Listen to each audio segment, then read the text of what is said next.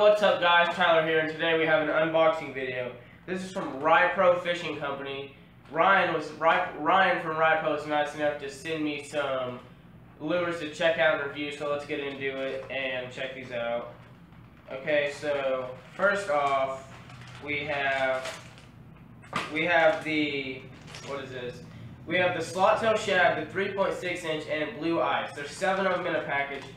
And these, honestly, these look sick baits, like sick baits. Next we have the jig wig in blue ice. They, it's a 8 ounce jig head with two extra eyes and four jig wigs. Um, so these look sweet. They both look really awesome. I love the color. Blue ice might be my new favorite color. This is a sick color. So here in a second, I'm going to show you guys an up close view of them and check them out. They honestly are really sick. So here we go. We're going to get the up close view. Let's go. Yo guys, so here we go with the up close view of these baits. The slot tail shad might be my new favorite bait. Now this thing looks absolutely sick. The color is absolutely phenomenal. So I'm going to set this camera up real fast, or it's, it's really my phone, but it doesn't matter. I'm going to set this camera up and we're going to check these baits out. Okay, so we're going to look at the slot tail shad first. Very interested in the way this bait's going to perform. It looks very great. How to open it? Oh, okay, no tearing needed. Okay, so here we go. Here is the slot-tailed shad. Okay, it looks like, kind of like a bottle opener right there, but I like the way that looks because it's going to give off the action. It, the hell's, the, not the hell, the tail is a little heavy, but I like I like how heavy the tail is actually. Okay, so they're pretty, they have a little stretch to them, they have a little give. The tail, I can tell, might not bust easily, but, you know, you can't ever really tell with soft plastics because they're, some are made differently, some are made stiffer, some are made softer. And these ones feel like they're pretty good, moderately made.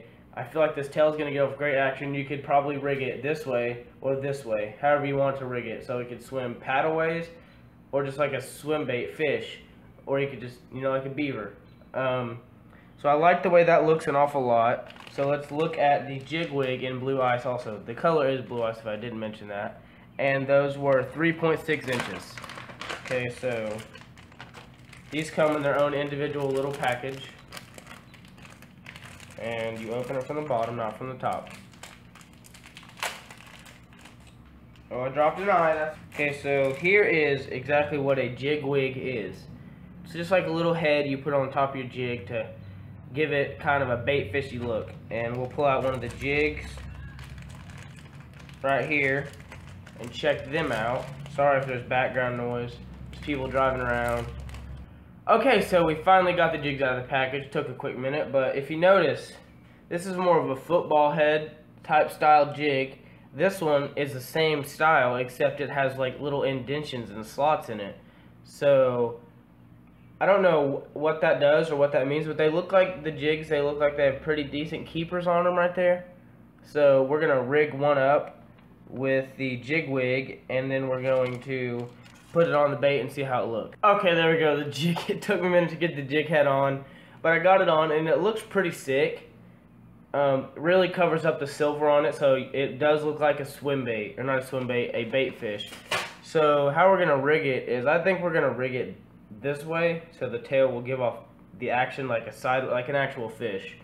So doesn't seem to be a okay I found the top there we go.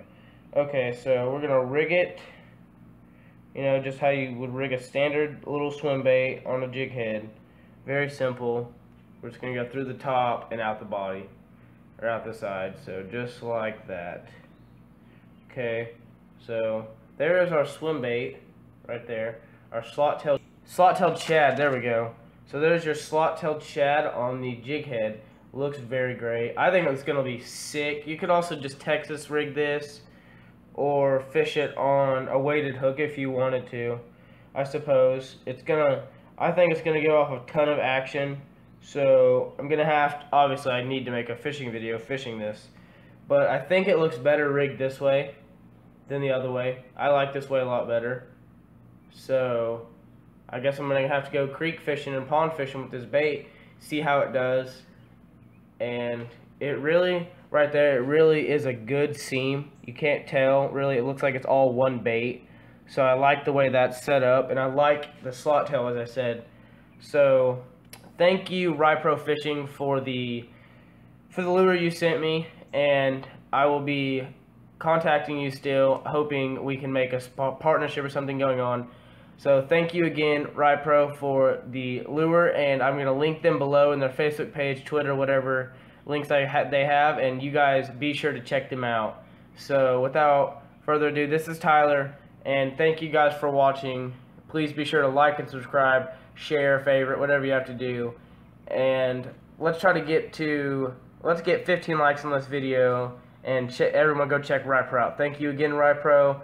Ryan, you're the best. And this has been Tyler. Bye, guys.